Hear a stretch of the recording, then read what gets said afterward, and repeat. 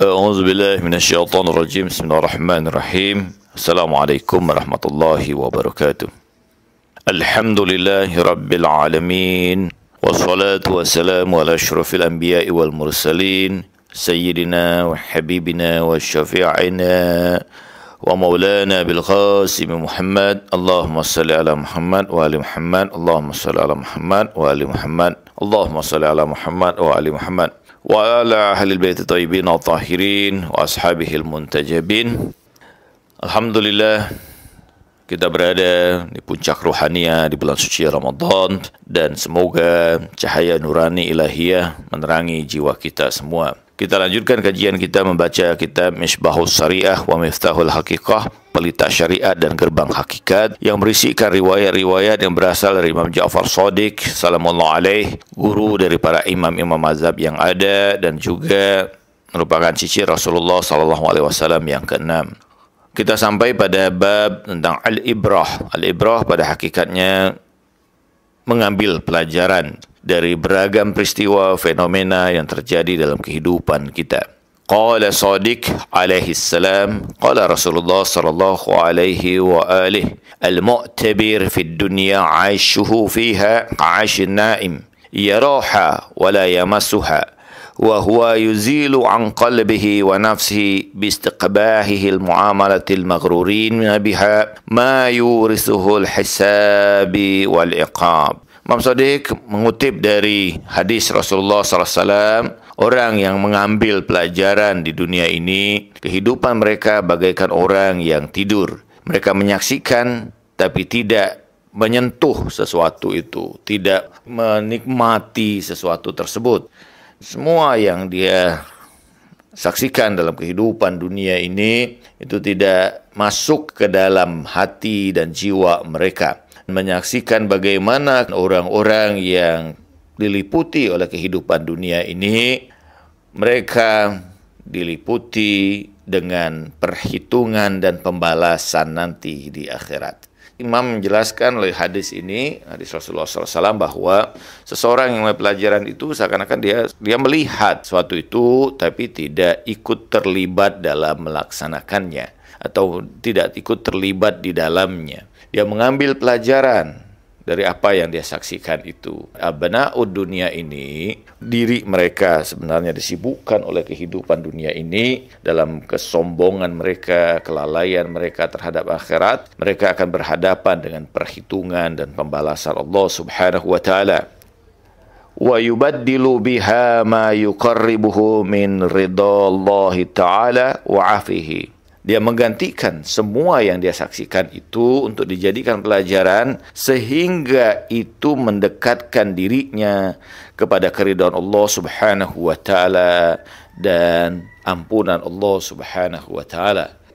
Seseorang hamba itu melihat tindakan seseorang yang justru mengancam akhiratnya, maka dia tentu melakukan sesuatu tindakan yang lain yang dengan tindakan itu dia dapat meraih ridho Allah, meraih kenikmatan dalam perjumpaan dengan Allah Subhanahu wa taala.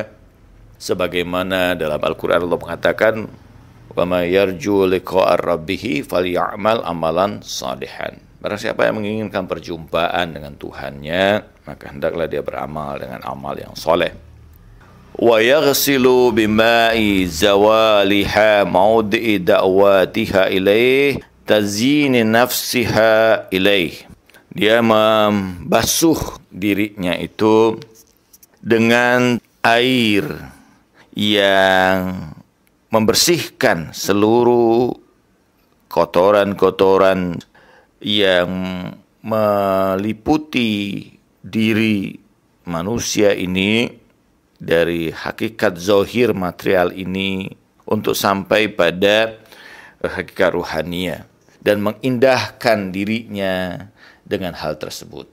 Jadi yang dimaksud imam dalam konteks ini bagaimana seseorang itu membasuh dirinya dengan air ruhania untuk melepaskan dirinya ini dari pengaruh-pengaruh keburukan apa yang dia saksikan tersebut dan menghiasi dengan air ruhania itu keadaan jiwanya. Air ruhania yang dimaksudkan oleh Imam Ja'far Shadiq tidak lain adalah tobat, upaya untuk memperbaiki keadaan diri, mensucikan batin, melakukan upaya penyucian ruhaniah kita untuk bisa kita menghiasi keadaan batin kita ini. Manusia pada hakikatnya tentu memiliki dua diri. Ada yang zohir dan ada yang batin. Umumnya manusia, kebanyakan manusia di dunia ini menghiasi zohirnya, tapi lupa untuk menghiasi batinnya. Bahwa batin itu memerlukan perhiasan ruhaniah, yaitu kesucian, ilmu pengetahuan, demikian juga ketaatan, ketakwaan, keimanan, segala hal yang ruhania yang mendekatkan dirinya kepada Allah itulah adalah perhiasan ruhania. Bagaikan gelas atau permata yang diusap terus-menerus dia akan memancarkan kemilaunya. Demikian jiwa kita yang dibasuh dengan air mata taubat dan permohonan ampunan, penyucian diri, keimanan, ketakwaan, amal soleh, ilmu pengetahuan, itu akan menyebabkan jiwa kita itu berkemilau di hadapan Allah Subhanahu wa taala. Wal ibratu turisu salasa asya. Mengambil pelajaran itu, ibrah itu, itu akan menghasilkan tiga hal dalam diri kita ini. Al-ilma bima ya'mal wal amal bima ya'lam wa ilma ma lam ya'lam. Ada tiga hal luar biasa Imam mengatakan bahwa yang pertama adalah ilmu yang dihasilkan melalui tindakan yang dilakukan mengambil pelajaran itu, kita tahu bahwa ini akibatnya seperti ini. Sebagaimana Al-Quran memerintahkan fasiru fil ardi fanzuru kaifa kana akibatul umur. Berjalanlah kamu di muka bumi ini dan saksikanlah beragam hasil dari tindakan orang-orang sebelum kamu. Jadi kita mengambil pelajaran dari apa yang telah dilakukan sebelumnya. Seorang yang bijaksana adalah mengambil pelajaran dari apa yang telah dilakukan orang lain sehingga dia tahu apa yang harus dilakukannya kemudian. Wal amal bima ya'lam, mengamalkan apa yang dia ketahui. Semata pengetahuan tentu tidak cukup. Pengetahuan itu dituntut juga untuk diamalkan. Sebagaimana dalam hadis Nabi Rasulullah SAW bersabda, An-nasu niyamun. Manusia itu tidur atau manusia itu celaka. An-nasu halikun illa abidun kecuali orang yang beribadah. Wal abidun halikun illa amilun illa alimun. Orang yang beribadah itu juga celaka kecuali orang yang berilmu. Wal alimun halikun illa amilun. Dan orang yang berilmu juga celaka kecuali mereka yang mengamalkan ilmunya wal amilun halikun ilal mukhlisun dan orang yang beramal pun celaka kecuali orang-orang yang ikhlas dalam amalnya. Jadi karena itu semata ilmu tidak mencukupi untuk mengembangkan ruhaniah kita. Diperlukan amal. Betapa banyak orang yang tahu sesuatu itu salah tapi tetap melakukannya. Atau sesuatu yang benar tapi tidak mengerjakannya ketika kita mengetahui dengan ilmu pengetahuan kita tentang kebaikan sesuatu dan kita berusaha mewujudkan sesuatu itu dalam diri kita dan kehidupan kita itu adalah al-amal bima ya'lam. Mengamalkan apa yang diketahui. Satu saat seorang kekasih Allah wali Allah Imam Khomeini rahmatullah alaih tengah malam yang dingin seperti biasa dia ingin berziarah ke kubur datuknya Imam Ali bin Abi Thalib di Najaf Padahal keadaan cuaca pada saat itu sangat dingin dan usia beliau sudah cukup tua. Sehingga putranya Said Mustafa berkata, Ya Abah, malam sangat dingin. Khawatir dinginnya malam ini akan membuatmu menjadi sakit. Tidakkah lebih baik engkau berziarah di rumah saja? Karena berziarah di rumah pun tentu insya Allah akan sampai kepada Imam Ali bin Abi Thalib. Apa jawab Imam Khomeini? La tusyrik anni ruhul awam. Jangan kau curi dariku semangatnya orang-orang yang awam. Orang yang awam mengerjakan sesuatu kadang tanpa memandang atau tanpa banyak berfikir. Tapi ada banyak orang yang berilmu terlalu banyak berfikir sehingga melupakan untuk mengamalkannya.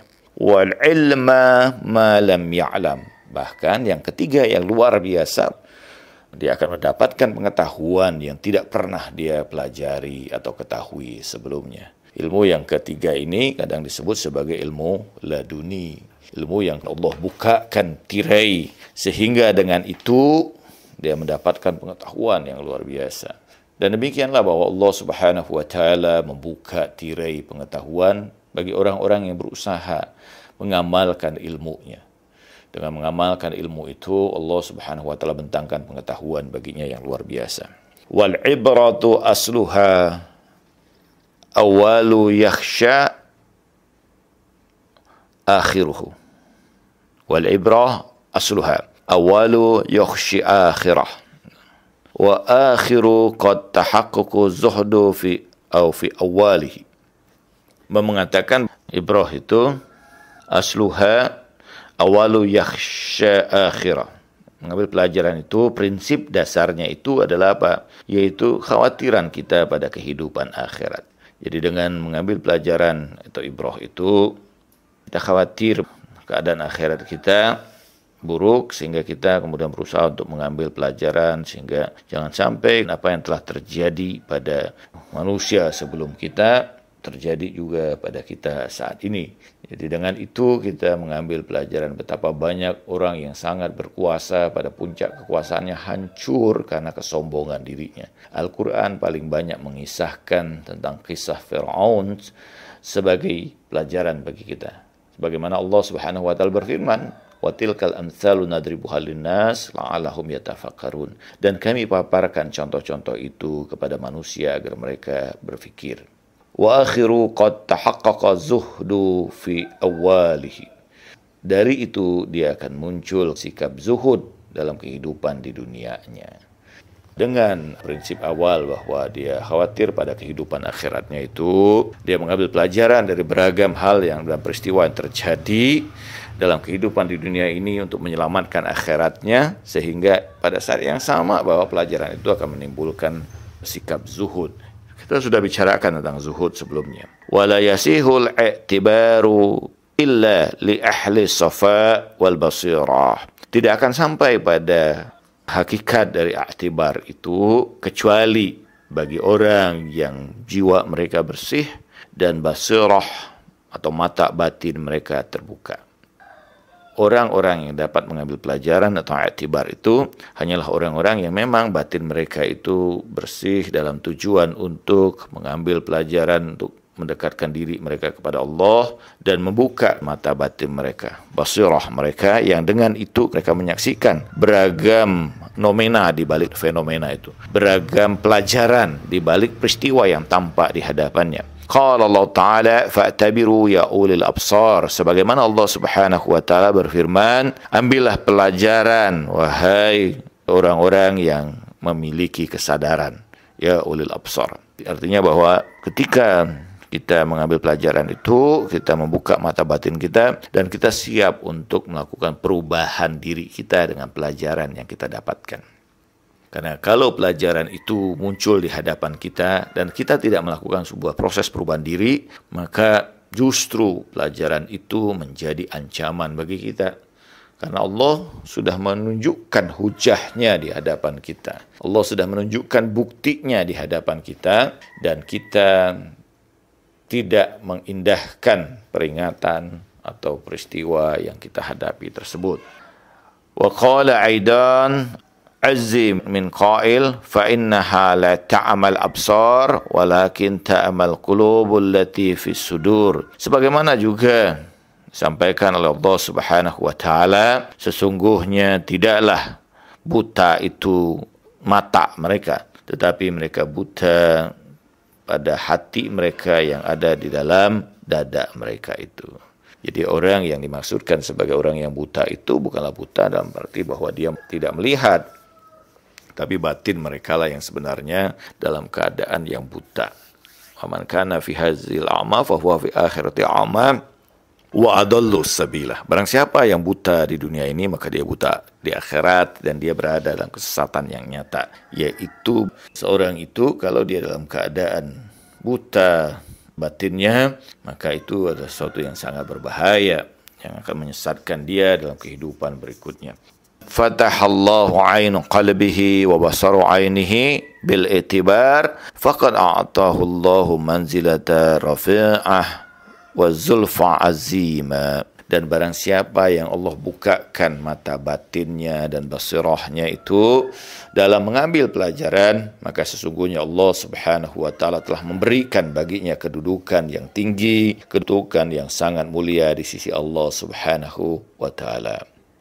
Ini satu anugerah yang luar biasa. May yu'tal hikmah faqad utiya khairan katsiran. Barang siapa mendapatkan hikmah kata Allah dalam Al-Qur'an, maka sungguhnya dia mendapatkan kebaikan yang sangat banyak. Kemampuan seorang kekasih Allah melihat dengan mata batinnya itu akan memberikan banyak pelajaran yang luar biasa dan mendudukkan dia pada kedudukan yang agung di sisi Allah Subhanahu wa taala. Karena itu bukalah mata batin kita Ambillah pelajaran dari setiap peristiwa yang terjadi di hadapan kita, beragam keadaan yang kita hadapi, pada hakikatnya itu adalah sebuah pesan dari Allah kepada diri kita. Allah tidak pernah berhenti berbicara dengan kita, tetapi kita menutup mata batin kita untuk mendengarkan hakikat dari pembicaraan tersebut, hakikat dari pesan tersebut. Segala peristiwa yang kita alami, segala keadaan yang kita hadapi, semua pada hakikatnya adalah pesan cinta Allah Subhanahu wa taala kepada kita semua. Mudah-mudahan ini bermanfaat bagi kita.